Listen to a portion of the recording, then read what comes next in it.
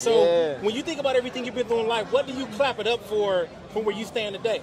Oh man, um, man, it's, it's too much to clap it up for. I clap it up for everything. You know what I mean? because it's like thing. there's beauty in everything. You know what I mean? It's, I don't look at, at losses as as L, or I don't look at L's as losses. I look at them as lessons. That's right. You know what I mean? So it's, it's something to clap for and everything. You Yeah. know what I mean? So Yeah, straight like that, man. Make sure you tap with my guy Q, 1500 nothing. Let's Yes, get it.